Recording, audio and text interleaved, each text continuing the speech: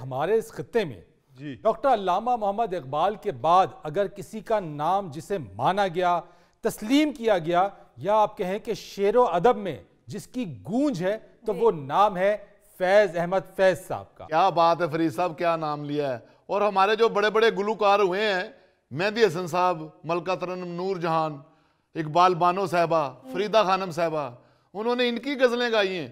और बहुत पॉपुलर हुई है वो गज़लें। और फरीद भाई फैज साहब को नैयरा नूर साहबा ने भी गाया। बिल्कुल। और गायकी के मैदान में सबसे पहले फैज साहब की ही गजलें मशहूर हुई। वाह वाह वाह।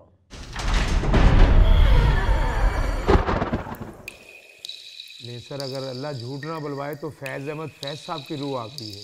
वाह। आइए आइए तशरीफ़ लाइए फैज साहब। ऐसे इनकलाबी शायर जिनके यहाँ हकीकत और रोमान का हसीन इम्तजाज पाया जाता है।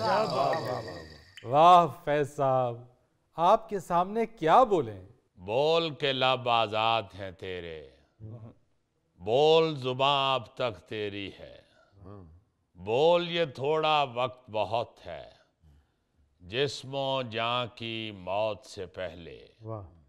बोल के सच ज़िंदा है अब तक।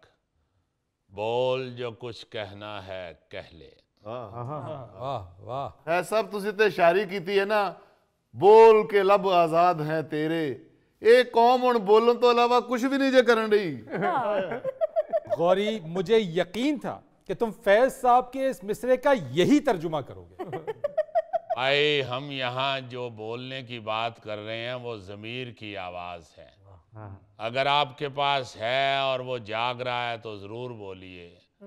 हम हमातन गोश हैं। सर आप तो हमातन गोश है ना।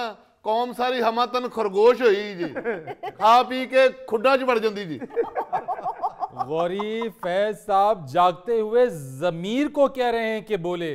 हाँ।, हाँ। फैज साहब आपकी शायरी में हकीकत और रोमान का जो हसीन इम्तजाज पाया जाता है वो किसी और की शायरी में कहा। फरीद गमे जाना से गमे दौरां तक का सफ़र शायर के अंदर गुदाज पैदा करता है। जी।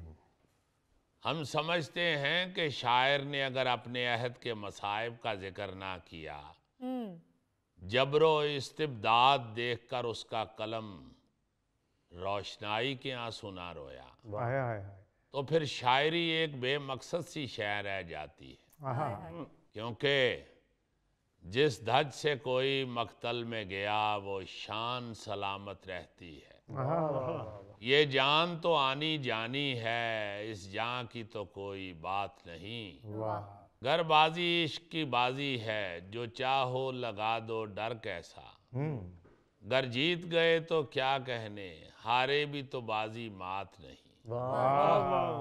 ਲੋ ਫਿਰ ਤੁਹਾਡੇ ਇਸ ਸ਼ੇਰ ਨੂੰ ਸਾਡੀ ਪਾਕਿਸਤਾਨ ਕ੍ਰਿਕਟ ਟੀਮ ਨੇ ਫੜ ਲਿਆ ਜੀ ਜਿੱਥੇ ਹੀ ਜਾਂਦੇ ਹਾਰ ਕੇ ਆ ਜਾਂਦੇ वाह वाह वाह फैज साहब यहाँ फैज साहब रिवायती इश्क की बात नहीं कर रहे हैं ये इश्क अपने मकसद से है ये इश्क अपनी धरती से है वाह भाई हमने तो इस इश्क में कैदो बंद की सोबतें भी बर्दाश्त की हैं पिंडी साजिश केस में जब हमें पाबंदे सलासल किया गया तो हमने तो उस वक्त ही कह दिया था न गवाओ नाव के नीम कश दिले रेजा रेजा गंवा दिया। जो बचे हैं संग समेट लो तने दाग दाग लुटा दिया।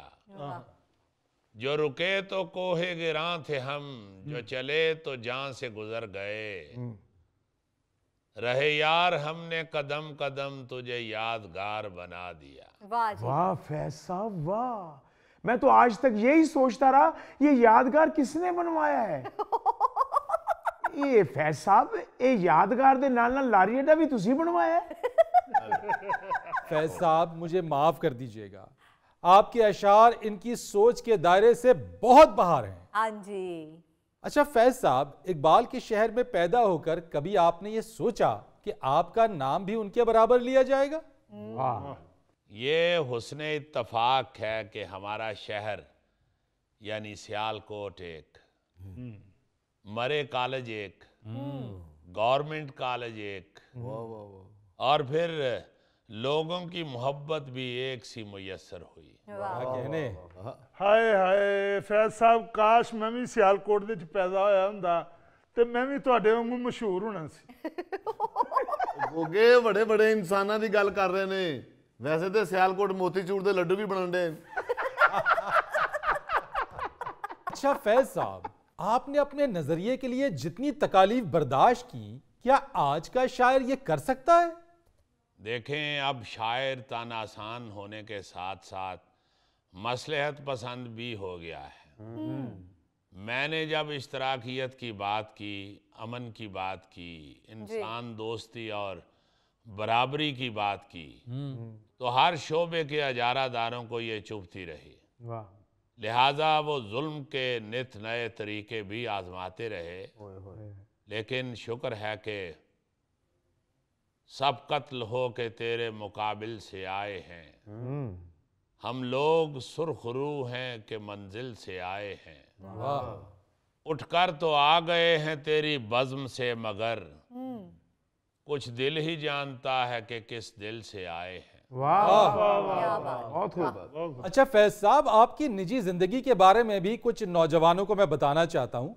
आपकी तारीख पैदाइश के हवाले से भी इबहम है। देखें सच तो ये है कि हमें खुद भी तारीख पैदाइश नहीं मालूम। जी। उस दौर में स्कूल दाखिल करवाते वक्त ये हिसाब लगाया जाता था कि किस उम्र में मैट्रिक करेगा। लिहाजा उस हिसाब से तय कर दी जाती। अलबत्ता 1911 पता है मुझे। अच्छा। बाकी जो स्कूल सर्टिफिकेट पर लिख दी गई वही हमने मान ली बस। जी ਜੀ ਸਰ ਜੀ ਵੈਸੇ ਇਹ ਗੋਗਾ ਜੀ ਦੀ ਵੀ ਤਾਰੀਖ ਪਦਾਇਸ਼ ਦੇ ਬਾਰੇ ਚ ਬਹਾਮ ਹੈ ਇਹ ਹੀ ਨਹੀਂ ਸਮਝ ਆਂਦੀ ਪਹਿਲੇ ਗੋਗਾ ਆਇਆ ਸੀ ਜਾਂ ਡਾਇਨਾਸੌਰ ਵੈਸੇ ਗੋਗਾ ਜਿੱਡਾ ਸਿਆਣਾ ਮੈਨੂੰ ਲੱਗਦਾ ਇਹੀ ਪਹਿਲੇ ਆਇਆ ਸੀ